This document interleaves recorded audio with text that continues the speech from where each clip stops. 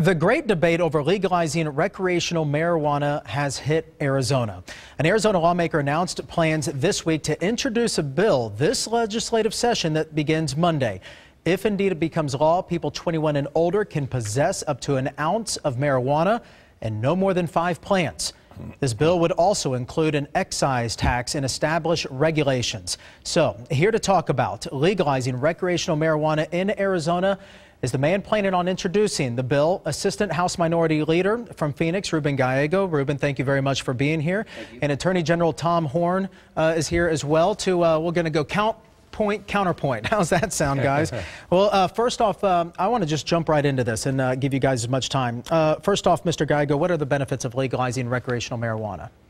Well, the biggest benefit is taking marijuana outside the black market. Right now, marijuana is sold um, almost everywhere. Uh, we all know family members, friends, and it's actually easier for kids to get marijuana than it is than to, to get alcohol. What we hope to do is create um, a system, a regulated system, much like marijuana, where people will go to a store, show their ID, pay taxes. We know who is growing this and we know who is selling this all the way through. So that way it is taken out of the black market and it's basically regulated and used as alcohol is. And Mr. Gallego, you are introducing this bill this week. Is that accurate? It should be done this week. I'm still trying to round up as many uh, sponsors as possible. Mr. Horne, let's talk about the dangers with uh, his plan. Well, the, the, biggest danger is that uh, use will increase. Uh, we, it's disputed how much it'll increase, but we know for sure that if you legalize it, the use will increase. And my opposition stems from my years in education. You know, I served 24 years on a school board, uh, four years in the legislature, chairman of the Academic Accountability Committee, and then eight years as superintendent of public instruction. And I know uh, many cases where kids, when they get on marijuana, they lose their ambition, their grades go down, you know, everything is cool, man, why worry about the future? and uh, it happens in, in business also. There's, there are studies that show increase in absenteeism, decrease in uh, ambition and, and, and conscientiousness. Um, and it could have a bad effect on society. And at a minimum, it's being experimented now, to, experimented now in Colorado and Washington. Right. We ought to wait and see what are the effects in those states before we consider doing it here. It's, it's nice to hear both of you talk about safety and security mm -hmm. at the same time and to have two politicians sitting next to each other that aren't yelling at each other. So thank you. You no touched happens once in a while. Mr. Horne, you touched on it right We're there. We're very about, friendly, uh, Ruben and I. about uh, how, um, how Colorado did this. Uh, Mr. Gallego, I want to ask you, why not just wait and see how this uh, works in Colorado? It, it, it's actually a really good point. The reason you don't want to wait is because uh, if we do not get moving by 2016, there will be a ballot initiative.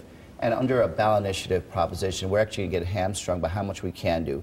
There's a lot of X factors to this, right? This law is not going to be imperfectly implemented um, if we go through a ballot initiative. If we pass it as a legislature, we will actually have more flexibility to respond to a lot of things that, that are going to come up. And just, just like with a lot of things that have come up with medical marijuana, we've been hamstrung with a lot of the issues and, and, issues, good and bad, that have come with medical marijuana because we have to vote at a supermajority level mm -hmm. to pass that uh, good legislation to fix that law.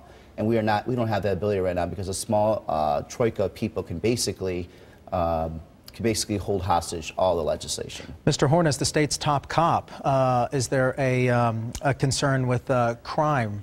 Uh, tied to recreational marijuana. Not that there's any study out. I, I, don't know if there is, quite frankly, but is there any information that you may have? Well, the studies show um, that uh, use of marijuana can be very bad for your driving. It's the second most common substance in the blood after alcohol for serious accidents. Um, and, and I think you would have an increase in crime because of the increase in use of mm-hmm. marijuana. Mm -hmm if you legalize it. And I'm especially concerned, obviously, about the effect on kids because if it's legalized, even though you say we won't sell it to kids, it's much more prevalent, it's much more available. In fact, in Colorado, they just had a case of a girl, a toddler, and her mother noticed that she was hardly able to walk and she was lethargic. It turned out she'd eaten some brownies that had marijuana in them. Um, and so uh, there are a lot of dangers. And I think, I think we have good experiments in Colorado and Washington. Let's see how those turn out. What is the effect on society? Maybe my fears are are exaggerated and maybe it won't cause problems, but maybe it will cause problems. And we should know that before we act in Arizona. We only have a minute and 30 left. Uh, Mr. Gallego, yeah. you're about to say something to his well, point. I, you know, again, back to the issue of impairment. Um, just because we legalize recreational use of marijuana does not mean you are allowed to drive uh, impaired, no matter what. You're not allowed to drive impaired if you're too sleepy. Mm -hmm. And of course, if you do that and you're being irresponsible, you should be treated uh, judicially by the law. In terms, again, back to our high schoolers uh, and people just in general smoking marijuana that should not be, this will be strictly regulated above the age of 21 and only above the age of 21. And anybody that abuses this, whether they hand it or sell it to somebody that's younger, should also have the book thrown at them, which should actually happen now too. So what we're actually trying to do is at least diminish the, the, the areas that we can affect, which is people above the age of 21. Okay, uh, I want. This has been really interesting and a hot topic on our Facebook page, the ABC 15 Facebook page. Uh, real quick, there's a there's a report out that 70 million dollars in tax revenue could be generated out of Colorado. So this coming from one of our uh, uh, viewers here. Monica writes, "Where would the tax money go?" Very quickly, Mr. uh, Gallego.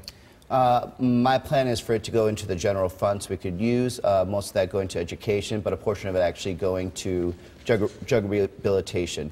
One of the nice things about us actually controlling instead of it going to the legislature, we can also designate where that money goes. Okay, got uh, 20 seconds left. Let's go to the other Facebook p- question. This is for you, Mr. Horne. How would it affect getting a job? Uh, well, hopefully, employers have the right to test people, and be sure, if they don't want to hire somebody who's going to be high on marijuana, they ought to have a right to, to be able to test and exclude them. Of course, I don't know uh, what the law, uh, if it's passed, would provide. Okay. Uh, as Attorney General, I have to pass whatever laws the legislature uh, passes, I have to enforce. But uh, hopefully, employers should have the choice to, n- to be able to not hire people who are going to be high on marijuana. Stay tuned, is what we like to say in this business. Uh, Mr. Gallego, Mr. Horne, wonderful having you both here. Thanks for Thank for watching. time.